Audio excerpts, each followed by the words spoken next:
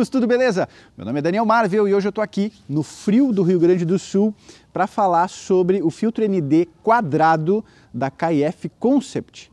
Quando a gente pensa em filtro ND quadrado, a gente vem, logo vem à cabeça a fotografia, fotografia de alta exposição, esse tipo de coisa assim, né? Mas também o filtro quadrado é muito utilizado no cinema. Será que o filtro quadrado, sempre que eu falo em filtro quadrado, me lembra a bola quadrada do Kiko.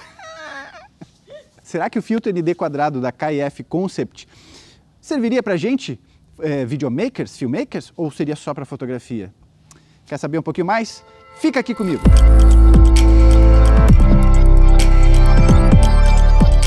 Mas afinal, para que, que serve o filtro ND? Bom, o filtro ND, para quem não sabe, ele é o óculos escuros das nossas lentes, das nossas câmeras, e é para isso que ele serve, para controlar a entrada de luz. Um pouco diferente é, da fotografia, lógico que para fotografia serve para o mesmo princípio, para a mesma coisa, mas para o vídeo a gente utiliza muito mais para manter a relação ideal entre o frame rate e o shutter speed, né? a famosa regra dos 180 graus.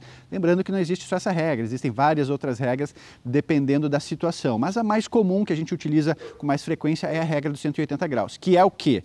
Né? Manter o shutter speed é, dentro do que a gente considera o ideal para ter desfoque de movimento e dessa forma ter uma imagem mais fluida, ao invés de ter aquela imagem toda truncada. Né?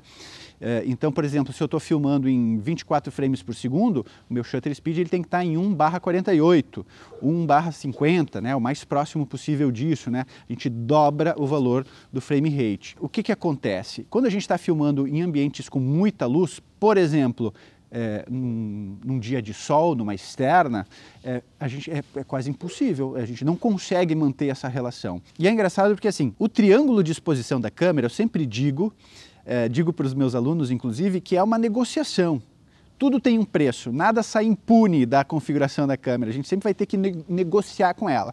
A partir do momento que eu é, é, mexo no shutter, a partir do momento que eu mexo na abertura, isso vai ter um impacto na minha imagem eu estou uh, disposto a pagar esse preço ou não? Isso vai interferir na qualidade do meu vídeo ou não? Isso vai interferir na estética que eu quero para o meu vídeo ou não?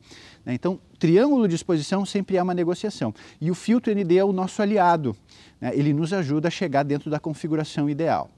Pois bem, dito o que é o filtro ND, vamos falar um pouquinho desse filtro ND quadrado da KIF Concept. Vocês já devem ter ouvido falar do filtro redondo, né? daquele filtro muitas vezes variável, de valor variável ou fixo do filtro ND, que a gente rosqueia uh, na nossa lente. Né?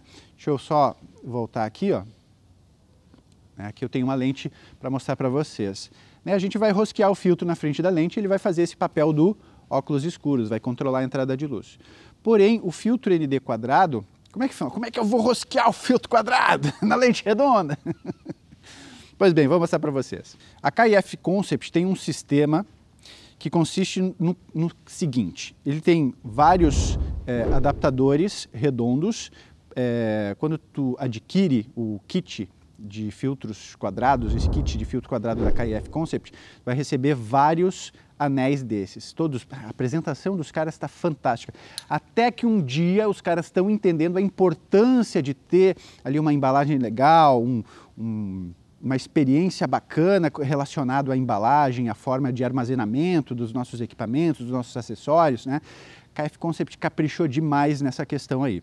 Pois bem, a partir do momento que tu sabe qual é o, o tamanho do filtro da tua lente, vai lá, vai pegar o adaptador e vai rosquear, opa, tá virado, vai rosquear aqui na tua lente. E esse sisteminha é legal, que eles mandam vários adaptadores de vários tamanhos, porque tu pode adaptar para qualquer lente, para qualquer tamanho de lente, tu não fica refém, né? E quando a gente compra o filtro ND, é, esse redondo, a gente fica meio refém do tamanho dele para o tamanho do, do, do, tamanho de filtro da lente, a não ser que tu compre, compre vários anéis adaptadores, aí vira aquela, aquela tripa de anel adaptador aqui para tu um filtro grande e adapta. É legal, ok, funciona, eu também uso assim, mas eu gostei muito desse sistema, porque eu escolho uh, o tamanho do, do, do adaptador aqui para para a minha lente. Né? E aí ele vem junto aqui também esse sisteminha aqui, aonde eu vou. Agora, depois de colocado o adaptador na lente, eu vou colocar aqui o sisteminha.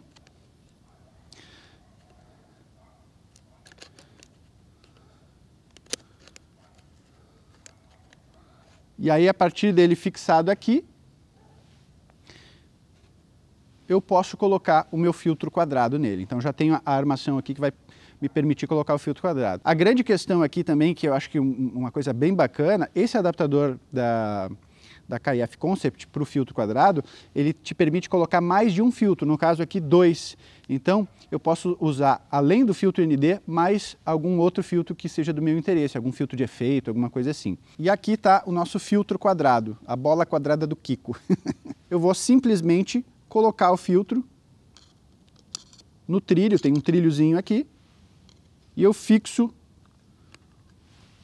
o meu filtro ND. O que, que acontece, pessoal? Bom, esse filtro aqui, ele é um ND1000, quer dizer, ele é bem escuro, ótimo para essa situação de altíssima luz de, de externa.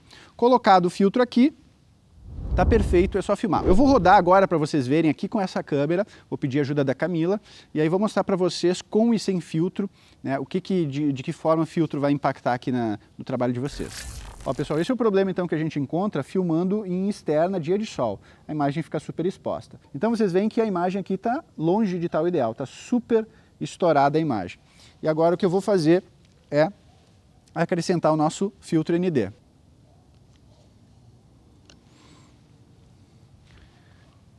E aí a gente tem já com a ajuda do filtro ND é, a imagem bem exposta, exposta da forma ideal. Uma coisa que vocês têm que ter em consideração é que esse filtro ND que a KIF Concept me mandou é um ND1000. Então, ele é um ND muito denso, ele é bem escuro. Tá? Então, por exemplo, ó, vamos tirar aqui do S-Log e vamos colocar uh, PPOff aqui. Muita gente filma em standard, né? Vamos deixar em PPOff, tá? E, e aí, no caso, a gente acaba tirando o ISO do automático Ó, se eu deixar o ISO 100, que seria o ISO normal, dentro de uma situação de, de bastante luz, a imagem fica completamente escura, porque o filtro ND ele é muito denso, ele é um ND1000, ele é bem escuro.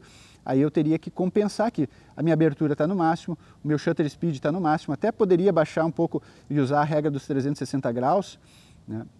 mas mesmo assim não é o suficiente, então vamos voltar para a regra dos 180 graus e vou ter que compensar com o ISO aqui. Então, para quem filma standard, ó, olha o quanto eu tenho que compensar o ISO aqui para conseguir chegar na minha, na minha exposição ideal.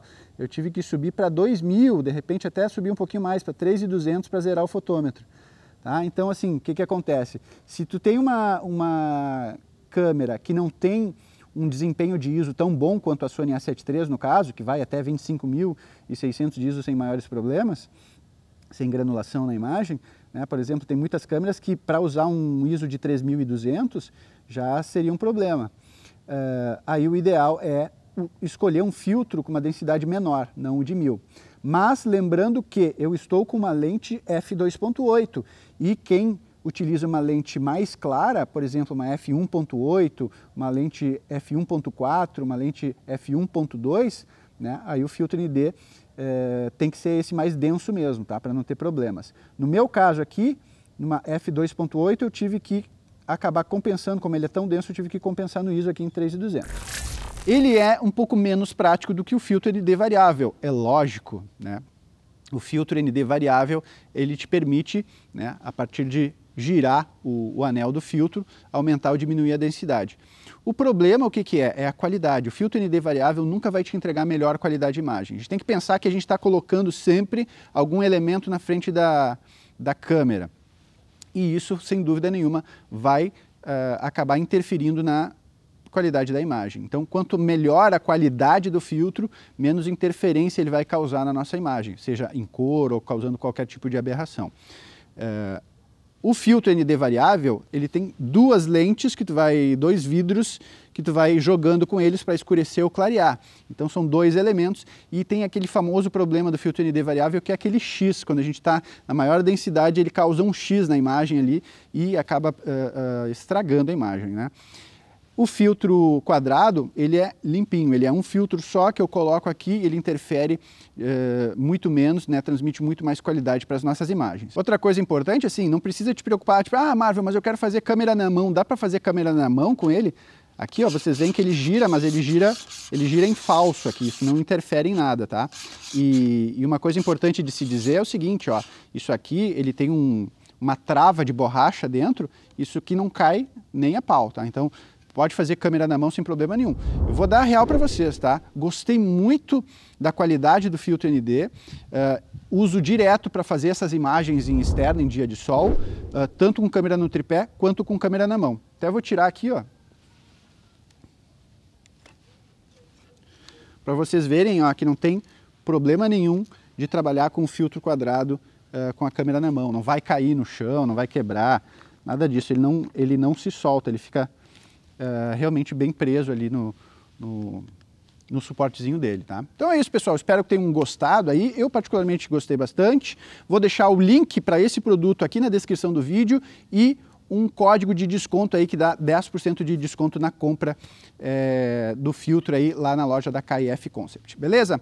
Espero que tenha gostado do vídeo, deixa teu like, comenta aqui embaixo se tu já tinha utilizado ou se tu utiliza o filtro quadrado e não te esquece de te inscrever no canal. Falou? Tchau, até a próxima!